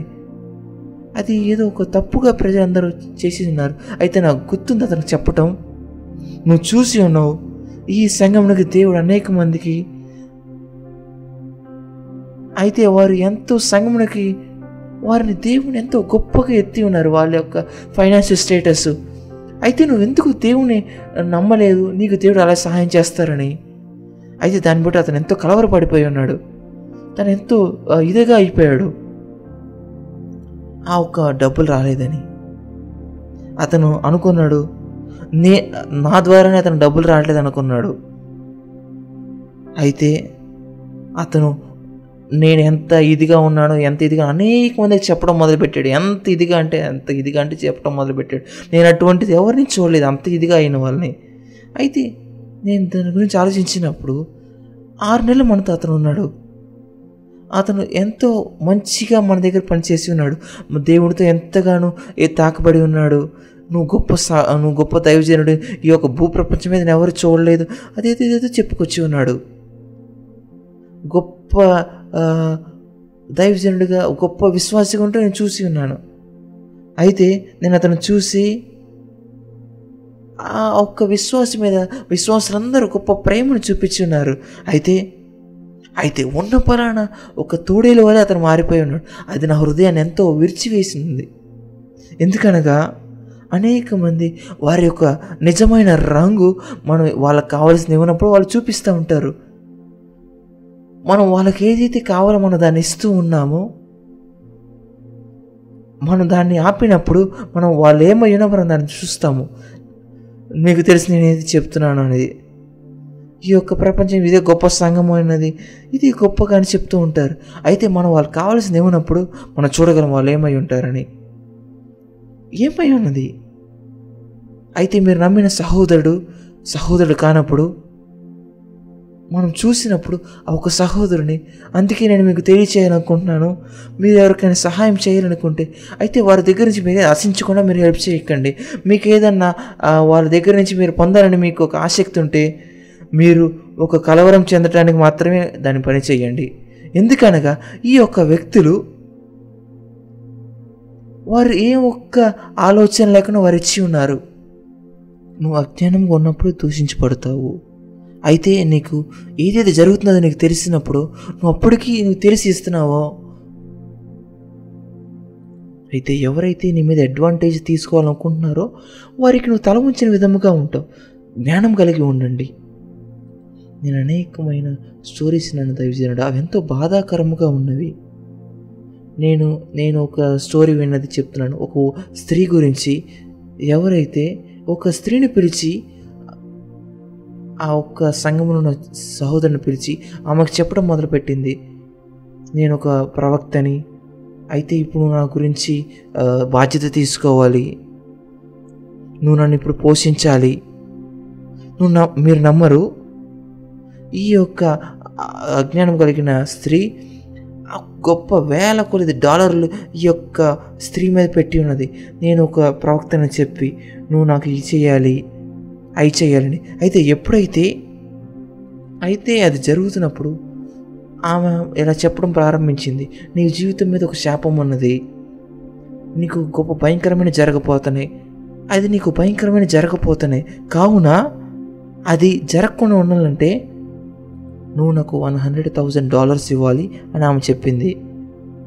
ఈ యొక్క స్త్రీ దేవుని నామాన్ని ఒక ఒక స్త్రీని బాధ పెట్టింది. ఇద్దరు ఒకే సంఘంలోకి వెళ్తున్నారు. అయితే గొప్ప సుదూర లాంగ్ స్టోరీ ఆమె నిత్యం మోసం చేస్తూ మోసం చేస్తూ ఎందుకనగా ఆమెకి అలా ఒక ఫీలింగ్స్ని తెలుసుకొని వాటిని తెలుసుకొని బాధ పెడుతూ ఆమెకు బాగా వచ్చినామా నేను మాత్రమే నీకు సాయం చేయగలను. నేను మాత్రమే నేను అర్థం చేసుకోగలను. ఇది ఇది దైవజనులకు చెప్పు మాకు. దైవజనులకు చెప్పు మాకు. అయితే మీకు ఎప్పుడైతే ఇలాగ ఒక వ్యక్తి వచ్చి ఇది మీ దైవజనులకు చెప్పు మాకు. అనేక మంది సంగమునకు వెళ్ళిపోయినప్పుడు వాళ్ళు వాళ్ళు ఎక్కువ మనం వినేది ఏమనగా ఇది ఎవరికి చెప్పొద్దు? ఎందుకనగా వాళ్ళకి ఒక రహస్యమైన మీటింగ్ జరుగుతూ ఉంటాయి. మీరు చూస్తారు అది అపవాది ఒక చిక్కు అయి ఉన్నది. మనం అయినప్పటికీ ప్రేమించడానికి పిలువబడి ఉన్నాం. మనం అలాగే మనం జ్ఞానం కలిగి కూడా ఉండాలి. మీ నేను మీరు కేవలం మేము మీరు బాధపట్టుకోవటం నాకు ఇష్టం లేదు.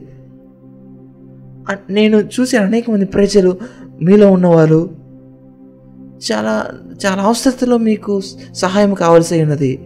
వారిని బట్టి మీరు కేర్ తీసుకోండి. వారి దగ్గర నుంచి ఏం ఆశించకుండా మీరు కేర్ తీసుకోండి. అయితే ఈ ప్రశ్న ఏమనగా మనం ఈ యొక్క సహోదరుని వారికి ఒక అవసరత ఉన్నదా లేదంటే లేకపోతే ఏమిటి అని మనం ఏ విధంగా దాన్ని వేరు చేసుకోవాలి? అది దీని గురించిన వివరం మనం చాలా జ్ఞాపకం చేసుకోవాలి. మనం ఎవరికైనా సహాయం చేస్తున్నప్పుడు.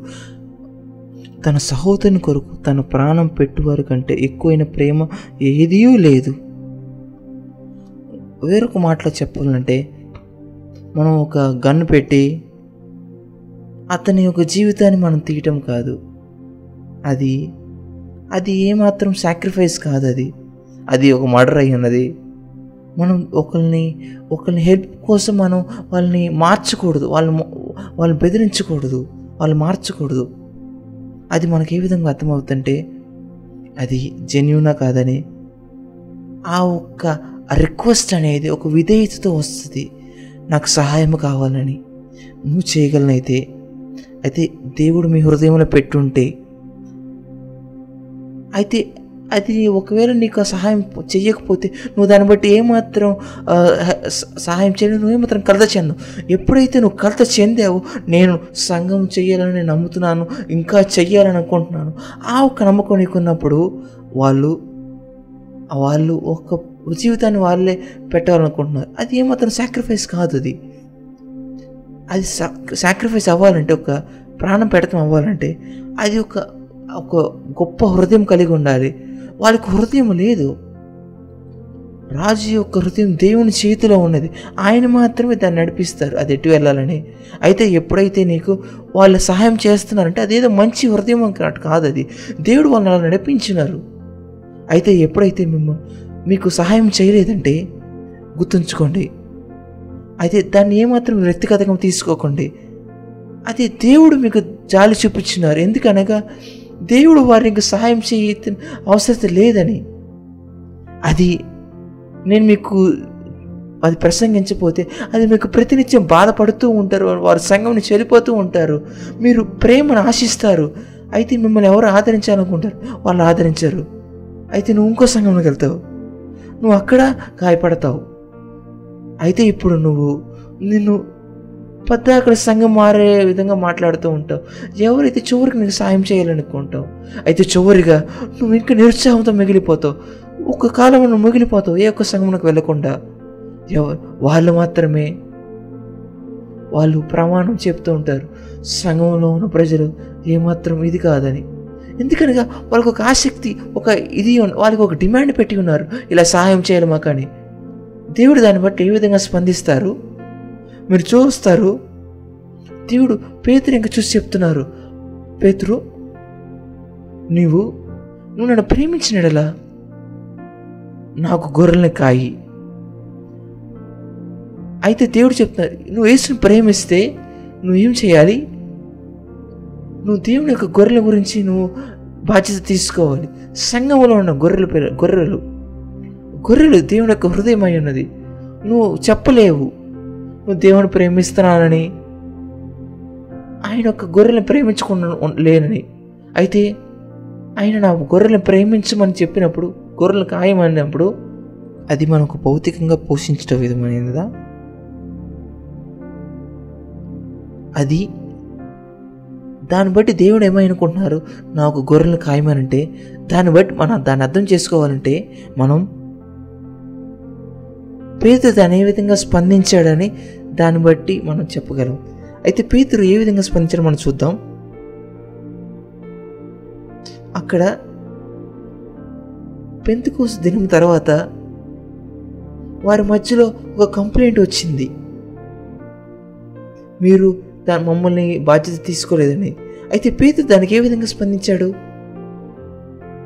దేవు పేతురు క్షమించండి తప్పు అయిపోయింది దేవుడు నన్ను గొర్రెలు కాయమన్నాడు. నేను వాళ్ళని సరిగ్గా కాయలేకపోయాను ఆయనకు తెలిసి దేవుడు ఏం చెప్తున్నారు? ఆయనకు తెలుసు దేవుడు అది ఏదో భౌతికంగా పోషించడం అనే దాని గురించి కాదు.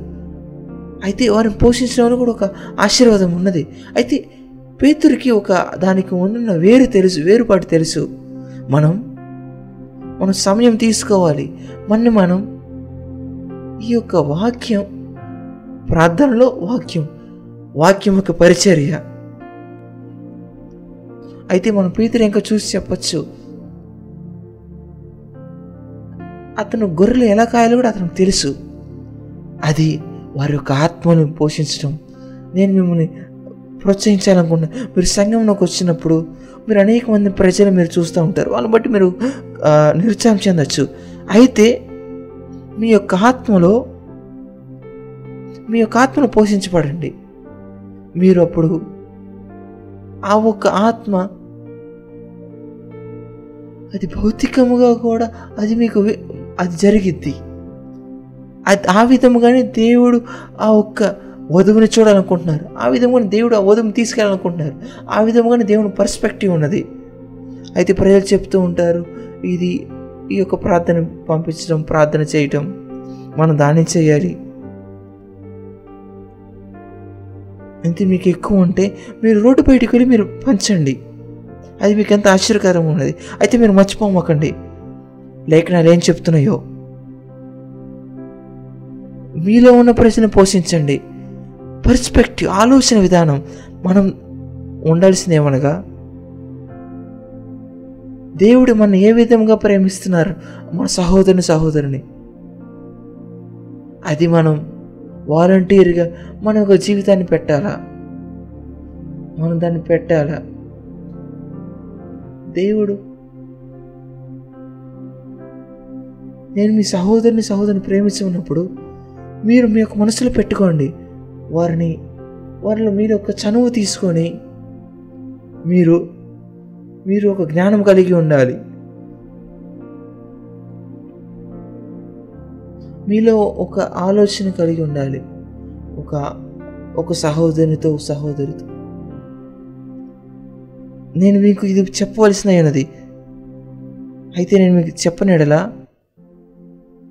మీరు దాని ద్వారా ఒక బాధని మీరు మీకు పొందకుండా ఉండొచ్చు. ఎప్పుడైతే మీరు మీ యొక్క సహోదరి సహోదరితో మీరు బిజినెస్ చేయాలనుకుంటే వారితో ఒక పార్ట్నర్షిప్ వెళ్ళాలనుకుంటే ఆ ఒక పార్ట్నర్షిప్ మీ మధ్య ఒక నిబంధన ఉంటేనే అయితే ఈరోజు మాటలో చెప్పాలంటే అది ఒక అగ్రిమెంట్ మీరు ఒక అగ్రిమెంట్ రాసుకోలేదంటే మీ యొక్క సహోదరుడు మీకు కాగితాలు ఇస్తాడని మీరు ఎట్లుంటుందని మాకండి. ఎందుకంటే అది నేను అనుకున్నాను. అది నీ యొక్క హృదయం నీ యొక్క మనసులో ఉన్న ఆలోచన. అయితే ఈ యొక్క వ్యక్తి నీ యొక్క మనసు నాలో చదవలేడు.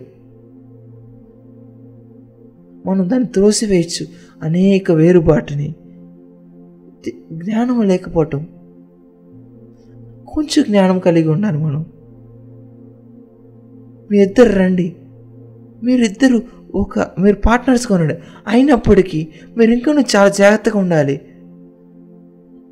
మీరు ఒక ఒక అగ్రిమెంట్ చాలా నమ్మకంగా రాసుకోవాలి. ఏ విధముగా మీకు ఉండవాలని. అయితే అప్పుడు మీరిద్దరూ అది దేవుని యొక్క నామాన్ని దూషించే విధముగా ఉంటుంది.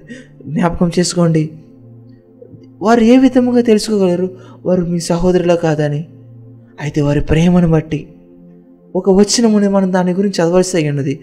యోహాను సువార్త పదమూడవ వచనం ముప్పై ఐదో వచనం. దయచేసి. యోహాను సువార్త పదమూడు అధ్యాయం ముప్పై ఐదు వచ్చిన మీరు ఒకని ఎడల ఒకరు ప్రేమ కలిగి ఉండిన ఎడల మేము దీన్ని బట్టి మీరు నా శిష్యులని తెలుసుకుందరు. మీరు ఒకరిని ఒకరిని ప్రేమించుకున్న ఎడల నా దేవా అదేమనగా మనం దానికి ఆపోజిట్గా ఉన్నది సత్యమైనది. అయితే మనం ఎప్పుడైతే ప్రేమించలేదు దేవుని యొక్క ప్రజల్ని మనం నిజంగా దేవుని ప్రేమించిన వారముగా ఉంటాం. అయితే నేను నమ్ముచున్నాను చాలా నిజంగా నమ్మకంగా మనం మనం దేవుని ప్రేమించలేం. మనం ఆయన యొక్క శరీరాన్ని ప్రేమించలేకపోతే అది యొక్క నా ప్రార్థన అయి ఉన్నది. ఈ యొక్క బాటలో మనల్ని నడిపిస్తున్న ఈ బాటలో మనం మర్చిపోని విధముగా ఆయన్ని ఆ ఒక్క సంఘంని ప్రేమించే విధముగా ఉండేలాగా మనం చాలా మతపరముగా ఉండొచ్చు దేవుని ప్రేమించడం అనేక కార్యాలు చేయటం. అయితే మనం సంఘంలో ఉన్న ఐక్యత గురించి మనం ఆలోచించాం. మనం మన సహోదరు సహోదరు గురించి మనం పట్టించుకోం. మనం వారి సహవాసాన్ని పట్టించుకోం. ఆలోచించండి. నా చిన్న కుమారుడు మోజెస్ నా అతను చెప్ నా దగ్గరకు వచ్చి చెప్పే ఉన్నాడు. అతను ఐదు సంవత్సరాలు అతను. అతను తన సహోదరి ఏ ఎనిమిది వేలు. ఆలోచించండి. అతను నాకు చెప్పి ఉన్నాడు నేను ఇంటి నుంచి వెళ్ళిపోవాలనుకుంటున్నాను. ఎందుకనగా నా సహోదరి నా పట్ల కఠినంగా ఉంది కాబట్టి. అయితే నేను నేను అతని దగ్గరికి వెళ్ళి చెప్పినాడు ఒక నిమిషం ఆగు నేను విన్నానా? నువ్వు ఇలా చెప్పటం. మీ యొక్క ఆ సహోదరి కఠినంగా ఉన్నందుకు నువ్వు నా ఒక్క రూఫ్ నుంచి నా ఒక్క ఇంటి నుంచి వెళ్తావా? ఆ ఒక్క ప్రొటెక్షన్ నుంచి. ఆ ఒక్క భద్రత నుంచి ఆ ఒక ఆశీర్వాదం నుంచి నువ్వు నువ్వు ఒక మీ యొక్క సహోదరుని బట్టి కలత చెందినందుకు బట్టి నువ్వు వెళ్తావా? అదే సంఘంలో కూడా జరుగుతున్నది. అతిగా అతిగా అపవాది నిన్ను చాలా నీ యొక్క సహోదరుని బట్టి నీ యొక్క సహోదరుని బట్టి నీకు నిరుత్సాహం కలిగించింది. ఆ ఒక్క దాని నుంచి నిలిపేలా చేస్తుంది. ఆ ఒక్క రూఫ్ నుంచి నిలిపేలా చేస్తుంది. ఆ ఒక్క ఆశీర్వాదం నుంచి. అయితే అపోవాది అపోవాది దాన్ని బట్టి ఎంతో గొప్ప విధముగా సక్సెస్ పొందుతుంది అలా చేసి. ఆ ఒక ఇద్దరి మట్ల ఆ ఒక్క అవసరతను బట్టి అది వేరుబాటును తీసుకొస్తుంది. ఎందుకంటే అప్పు అది గొప్ప మోసగాడు. అయితే నేను ప్రార్థిస్తున్నాను ఈరోజు నీవు నీ యొక్క హృదయంలో చూసుకొని నీ యొక్క మనస్సును మార్చుకొని నేను ఎప్పుడు నేను నా దేవుని యొక్క సన్నిధిని విడిచిపెట్టను. ఒక సహోదరి సహోదరురాలను బట్టి ఎవరైతే నన్ను గాయపరిచిన వారిని దాన్ని బట్టి. ఎందుకనగా నేను ఎంతో లోతుగా ఉన్నాను. నేను ఎంతో గొప్ప పరిపక్వత కలిగి ఉన్నాను. నేను లోతుగా ఒక నిలువైన కోణంలో నేను నాటపడి ఉన్నాను.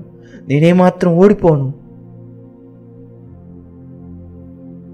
నేను ఒక పరిపూర్ణతలో ఉన్నాను.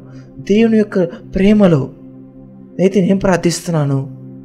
మనం ఈ యొక్క వచనాన్ని పూర్తిగా అర్థం చేసుకునే విధంగా ఉంటున్నాను అయితే దేవుడు చెప్తున్నారు ఇది ఈ ఒకటి నీలో ఉన్నది. నీవు విడిచిపెట్టి ఉన్నావు నీ యొక్క మొదటి ప్రేమని. నీ యొక్క మొదటి ప్రేమ నీ యొక్క సత్యమైన ప్రేమ క్రీస్తు శరీరం పట్టిన ప్రేమ మన క్రీస్తు శరీరం మన ప్రభు నేసు ఆయన చెప్తున్నారు మన బట్టి ఆయన ఎంతో గర్విస్తున్నారు. మన సహోదరి సహోదరులను చూసి చెప్పినప్పుడు మనం మనం దూరం చేసుకున్నప్పుడు ఎప్పుడైతే మనం మనం ఒక సంతోషముగా అవును అవును అనేక మందికి ఈ ఒక కృప ఉన్నది. మీరు ఒక సంఘంలోకి వచ్చి వారి బట్టి ప్రేమను చూపించవచ్చు మీరు ఏసునామములకు గొప్ప సంతోషంగా ఉంది గారు కాక సంఘంలో మీ పక్కనున్న వారిని వారిని బట్టి మీరు సంతోషించండి. ఈ యొక్క సంఘంలో వారు ఉన్నందుకు మీరు సంతోషం తీసుకొచ్చే వరంగా ఉంటారా? నేను ప్రార్థిస్తున్నాను మీరు దాన్ని గమనిస్తారని. ఎవరైతే దూరంగా వెళ్తున్నారో మీరు మీరు దాన్ని ఎరిగే విధముగా మీ యొక్క నేను ప్రార్థిస్తున్నాను ఎవరైతే కలత చెందుతున్నారో ఎవరైతే మీ యొక్క నువ్వు ఎవరికైతే ఒకరికి భోజనం స్పాన్సర్ చేసే విధముగా ఉంటావు నేను ప్రార్థిస్తున్నాను నువ్వు ఎవరికైతే నువ్వు దేవుని యొక్క హృదయం చూపించే విధముగా ఉంటావని. దేవుడు నేను కాపాడు కాక దేవుడు నేను భద్రపరచును కాక నువ్వు దేవుని యొక్క శరీరం గురించి కేర్ తీసుకున్నట్టుగా దేవుడు నీ యొక్క శరీరం బట్టి కేర్ తీసుకున్న విధంగా ఉండును గాక. నువ్వు దేవుని యొక్క కుటుంబానికి కేర్ తీసుకున్న విధంగా దేవుడు నీ కుటుంబానికి కేర్ తీసుకున్న విధంగా ఉండును గాక. ఈ వాక్యం నీ ఎద్దకు వస్తున్నది. ఈ యొక్క వాక్యం గొప్ప క్రిటికల్ అవర్లో ఒక ప్రాముఖ్యమైన సమయం నీకు వస్తున్నది. ఈ యొక్క నీ యొక్క ఆత్మని నువ్వు సేవ్ చేసుకోవాల్సిన సమయం. నువ్వు దేవుని యొక్క మీద మనసు పెట్టి ఉన్నావు. అది ఒక చాలా మతపరంగా ఉండి ఉన్నావు. అయినప్పటికీ మనం మనం దాని గురించి కోల్పోయి ఉన్నాం. నేను దీనితో ముగించనివ్వండి. చాలా జాగ్రత్తగా ఉండండి. మీరు ఏమాత్రం ప్రేమని అయితే మనం మనకు ప్రాణాన్ని ఇచ్చే విధముగా మనం ఏమాత్రం ఆశించకూడదు. అదే నిజమైన ప్రేమ అయి ఉన్నది. చెప్పు మాకండి మనం అందరిని ప్రేమించాలి మీరు నన్ను ప్రేమించాలి అలా చెప్పమాకండి. మీరందరు కఠినంగా ఉండవచ్చు. మనమైతే ప్రేమించాలి. మీరు నన్ను గాయపరిచి ఉండొచ్చు. అయితే మనం ప్రకాశించిన వెలుగువలే ఉండాలి. మీరు నా ఒక పార్టీకి నన్ను ఆహ్వానించపోయినప్పటికీ నేను దేవుని కృపను ప్రత్యక్షపరిచే విధంగా ఉండాలి. అది దేవుని యొక్క హృదయంలో సంతోషం తెచ్చిద్ది అది దేవుని యొక్క ఆ ఒక వచ్చిన మరొకసారి దీని ద్వారా ప్రజలు తెలుసుకుంటారు. మీరు నా ఒక శిష్యులని మీరు నన్ను ప్రేమిస్తున్నారు. ఒకరిని ఒకరిని ప్రేమించటం నేను ప్రార్థిస్తున్నాను. అందరూ నువ్వు వేరుగా ఉందో అని నేను ప్రార్థిస్తున్నాను. ఈ యొక్క వాక్యం ఈ యొక్క వాక్యం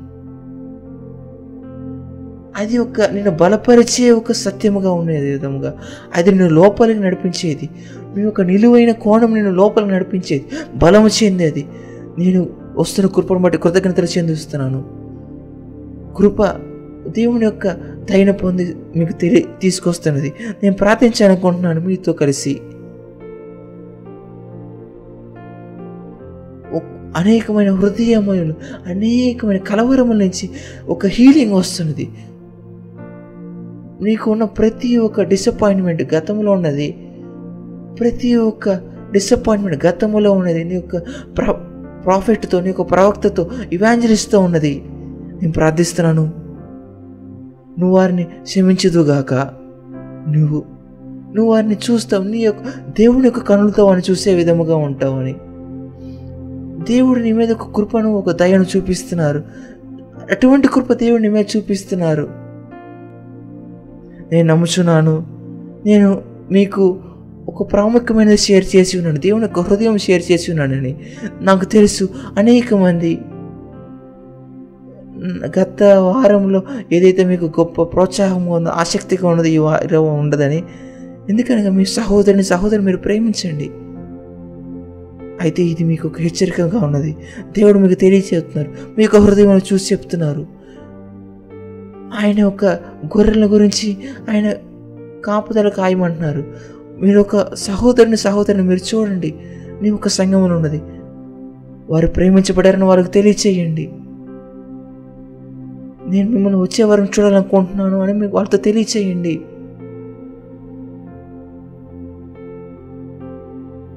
దేవుని యొక్క కనులతో వాడిని చూడండి. గుర్తుంచుకోండి. మిమ్మల్ని మీరు భద్రపరచుకోవడం కూడా మీరు జాగ్రత్తగా ఉండండి. ఎందుకనగా అదే ఒక బైబిల్లో ప్రేమయు పావురం వల్ల నిష్కల్పలంగా ఉండమన్నది. అదే విధంగా పాము వల్లే కుయుక్తిగా ఉన్నది. అది ఎంతో ప్రాముఖ్యమైన ఒక వాక్యం. ఎందుకనగా మనం ఒక మన ఒక వయసుగా ఒక జాగ్రత్తగా ఉన్నామంటే మనం పావురం నిష్కలంగా లేనట్లయితే నువ్వు ఏ విధముగా షార్ప్గా ఇంటెలిజెంట్గా ఉంటావంటే అది నువ్వు అదే విధముగా ఆ ఒక కృపని దయని ఆ జాలిని ప్రేమను చూపించవలసి అయి ఉన్నది. అదే నిన్ను దేవుని యొక్క గొర్రెగా మార్చేది. ఎందుకనగా మీకు ఒక బ్యాలెన్స్ కలిగి ఉంటుంది ఇప్పుడు లేనట్లయితే నువ్వు గొర్రెగా ఉంటావు అయితే ఒక గొర్రె ఒక కూరగా అయిపోతావు. అటువంటిది వద్దు మీరు జ్ఞానం కలిగి ఉండాలి షార్ప్గా ఉండాలి. అదే విధముగా మనం చాలా ఇంటెన్షన్గా మన దేవుని యొక్క రాజ్యాన్ని కట్టే విధముగా. అయితే దాన్ని బట్టి ఏమాత్రము అడ్వాంటేజ్ తీసుకోకుండా వారిని స్థానం ఇచ్చి అయితే నువ్వే అడ్వాంటేజ్గా ఉండే విధముగా అనేక మందికి నేను నేనైతే నేనేదో మీకు ఒక గొప్పది మీకు తెలియజేసాను అనుకుంటున్నాను. అనేక క్వశ్చన్స్ మీకు రావచ్చు. అయితే ఈ యొక్క వ్యక్తి నాకు అది చేసి ఉన్నారు ఆ ఒక వ్యక్తి నాకు ఇది చేసి ఉన్నారు. నేను ఏ విధంగా సమాధానం పడాలని? అయితే నేను మీకు సహాయం చేయాలనుకుంటున్నాను. మీరు మాకు రాయండి మెసేజ్ చేయండి. మేము చూస్తాం మీకు ఏ విధంగా సాయం చేయాలని. అయితే అయితే మా దగ్గర నుంచి మీరు ఆశించమాకండి. మమ్మల్ని బట్టి మీరు మళ్ళీ నిరుత్సాహం చెందవలసింది అయి ఉంటుంది. ఒకళ్ళు మాత్రమే మీకు నిరుత్సాహం కలిగించరు. అది మీ దేవుడై ఉన్నాడు. ఆయన నమ్మదగినవాడు. మీకోసం నన్ను ప్రార్థించనివ్వండి. తండ్రి మీకు కృతజ్ఞత. మీ పిల్లలకి ఇది ఈ యొక్క వాక్యం బోధించడానికి మీరు ఇచ్చిన కృపకై. మేము మా యొక్క మొదటి ప్రేమ సంఘంలో కలిగిన మొదటి ప్రేమని మేము కోల్పోకుండా మేము ఏ విధముగా మొదట్లో మేము వచ్చినప్పుడు ప్రేమించాము ఒకరిని ఒకరు ఏ విధముగా అయితే మనం ఒకరితో ఒకరు సహవాసం ఉంటే ఇష్టపడ్డామో మొదట్లో వచ్చినప్పుడు మనం ఏ విధంగా ప్రతి ఒక్కరిని ఆహ్వానించి వారిని బట్టి సంతోషించామో ఒకరిని పట్ల మేము కలిగిన ప్రేమ ఆ ప్రేమ ఏమాత్రం అలా చల్లబడిపోకుండా చేయండి. మాకు ప్రతి ఒక్కరు కావాలి. అపవాది మమ్మల్ని ప్రతినిత్యం వేరుపరుస్తున్నది. ప్రతినిత్యం వేరుపరుస్తూ వేరుపరుస్తుంది మమ్మల్ని వేరు చేసేస్తుంది. అయితే ఈ యొక్క వాక్యం సరైన సమయంలో వస్తున్నది. లార్డ్ తండ్రి ఈ యొక్క వాక్యం మీ యొక్క ప్రజల్ని వారిని భద్రపరచనివ్వండి. వారిని నిలబెట్టనివ్వండి. వారు ఏదైతే వారి దయ కృప వారి యొక్క సహోదరులు సహోదరుల మీద చూపిస్తున్నారో నేను ప్రార్థిస్తున్నాను అది వాళ్ళకి కోత కోసే విధముగా ఉండును గాక. ఏ సునామములో మేము ప్రార్థిస్తున్నాం ఏ మేన్ సంగమ గిఫ్ట్గా ఆమెను చెప్పండి. నేను మీకు తెలియచేయాలనుకుంటున్నాను. ఇటువంటి వాక్యం మీ దగ్గరికి వస్తున్నప్పుడు మీరు దీన్ని మీరు ఆచరణలో పెడుతున్నప్పుడు మీ యొక్క జీవితంలో మీరు ఒక గొప్ప ఒక రకమైన దయని మీరు పొందబోతున్నారు. ఇప్పటి వరకు మీరు పొందనిది. అయితే దేవుడు మీకు అటువంటి కృపణిస్తున్నారు పొందండి ఇప్పుడే. గొప్ప కొత్త దయని పొందండి. నేను ఇప్పుడే ఒకరికి ప్రవచిస్తున్నాను ఒక కొత్త ఇంటి కోసం. మీరు ఈ యొక్క వాక్యానికి అప్పగించుకుంటున్నాను బట్టి మీరు మీ ఇంటిని నేను దీన్ని చెప్తుండగా నేను దర్శనం చూసినాను. మీకు గొప్ప కొత్త ఇల్లు వస్తున్నది. మీరు ఒక కొత్త కాలం కోత కోయి ఒక కాలంలోకి వెళ్తున్నారు. సిద్ధపడండి సిద్ధపడండి గెట్ రెడీ సిద్ధపడండి. తండ్రి వారితో వెళ్ళండి. ఏసు సున్నామములో మేము ప్రార్థిస్తున్నాం.